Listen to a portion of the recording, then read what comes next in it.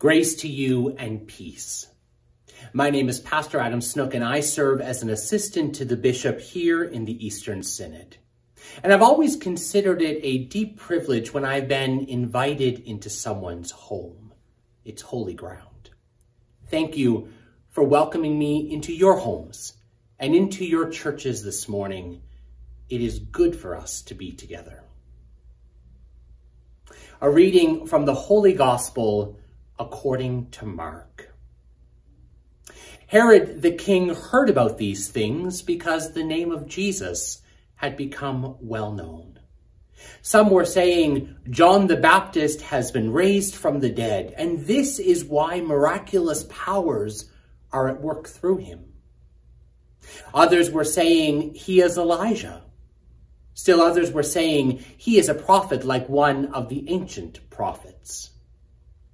But when Herod heard these rumors, he said, John, whom I beheaded, has raised to life.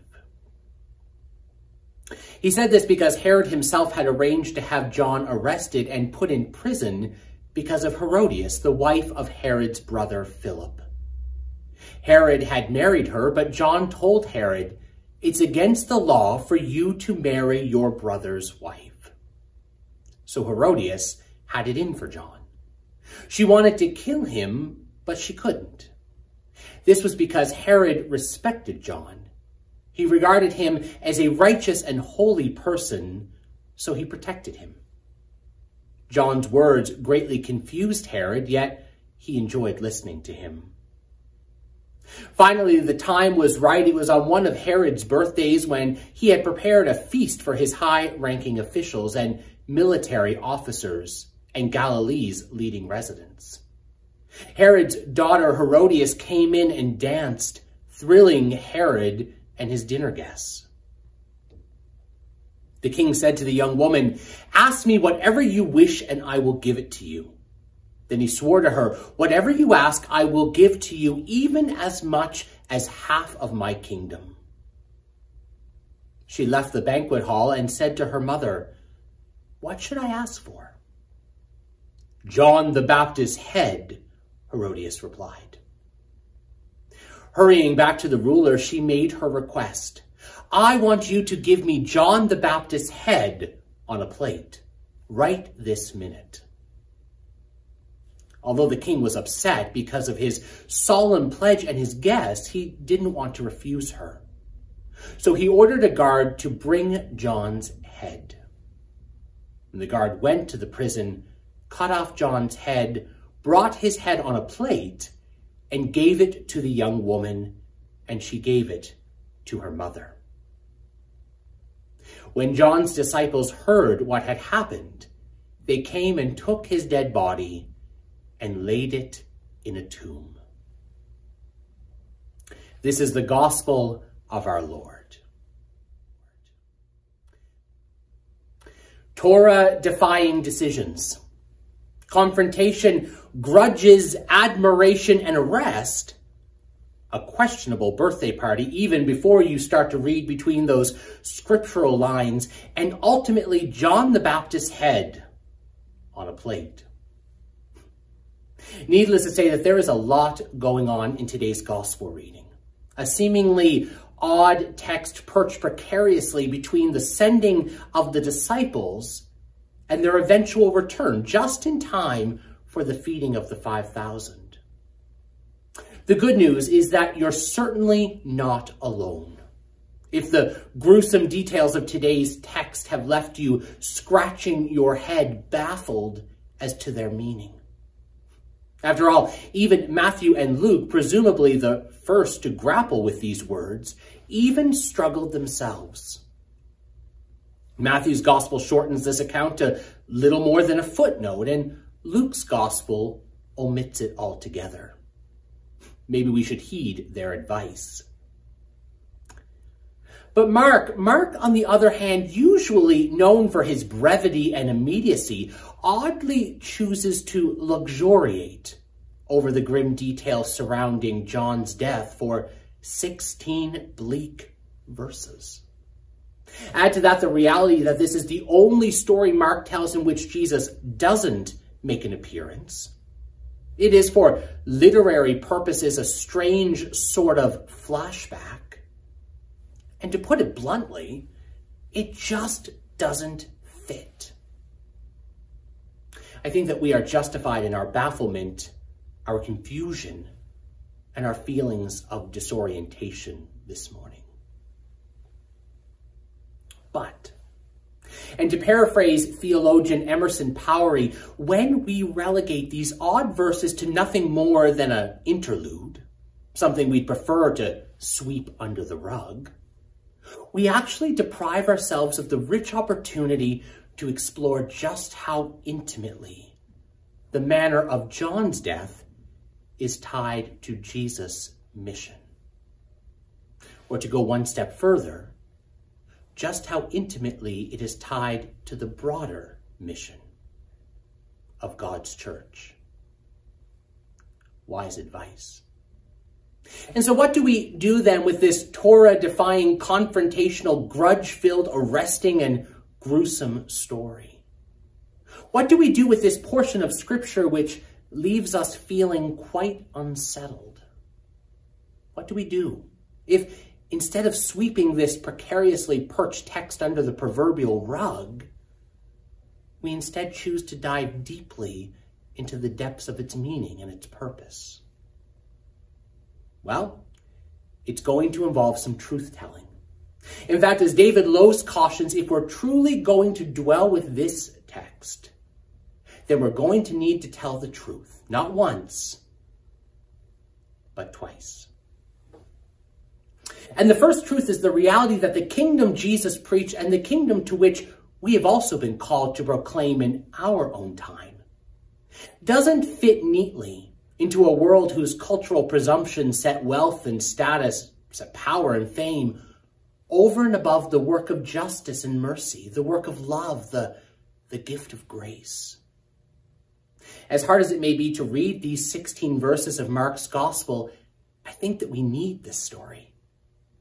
Because this story is actually a part of our story.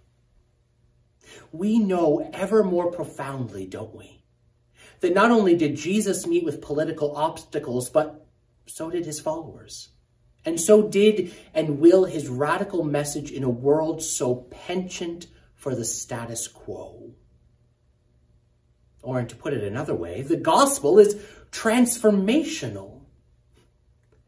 But we know, don't we? Seldom does such transformation come easy.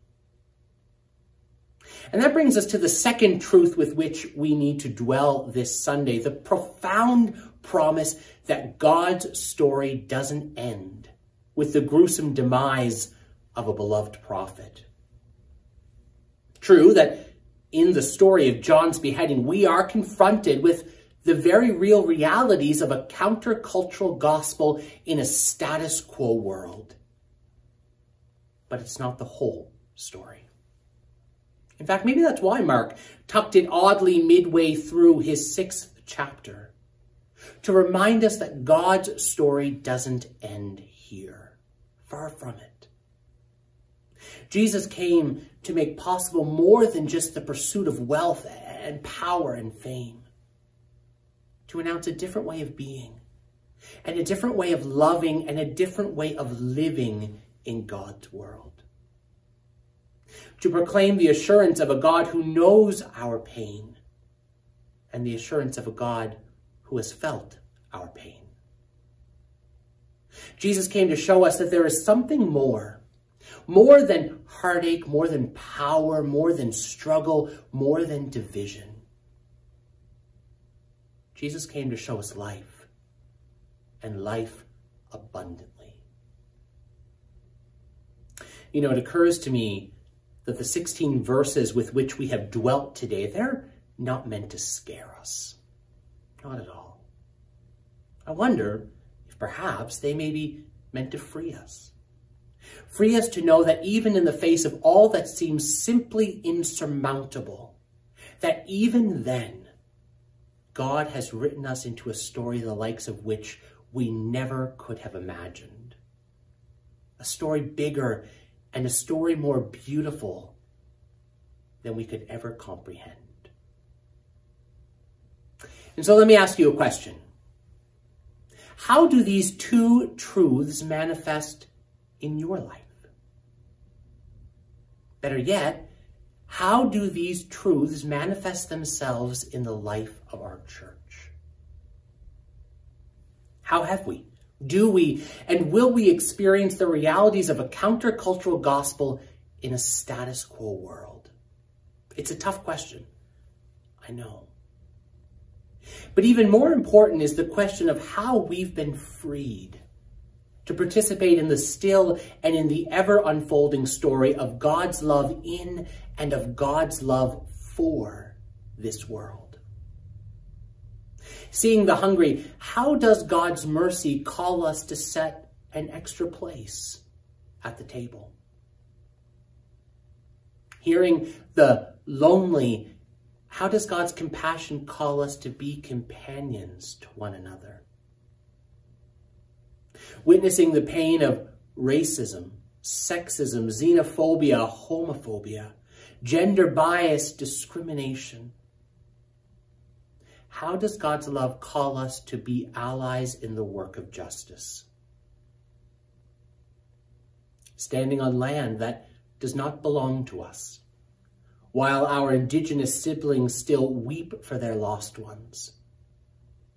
How does God's stillness call us to stop and to listen and to commit ourselves to the work of reconciliation? Gathering inside walls that for far too long have turned people away, how does God's example of radical welcome call us to live fully into that same hospitality? As people, I hope that we will choose to wrestle with these questions, but as a church, I pray that we will, because we need to. For in loosening ourselves from the fears of the first truth, we will be freed to live more fully into the second.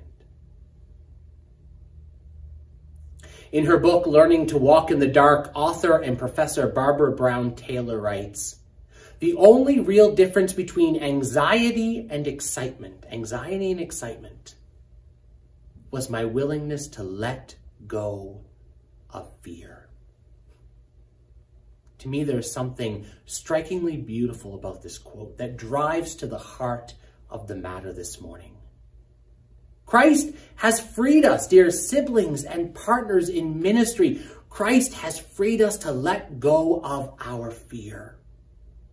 The fears of being ignored or judged, the fears of being disregarded or side-eyed, the fears of being thought strange or even dangerous to the status quo.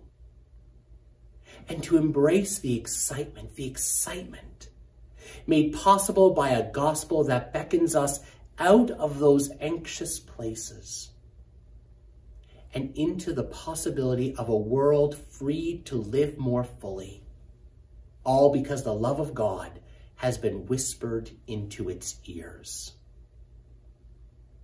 May we, the church, hear those whispers. May we sense the Spirit's leading. And may we go forth confident in the promise that the one who first wrote us into this story continues to call us away from our fears and into a world that has been set free. For this we say, thanks be to God and amen.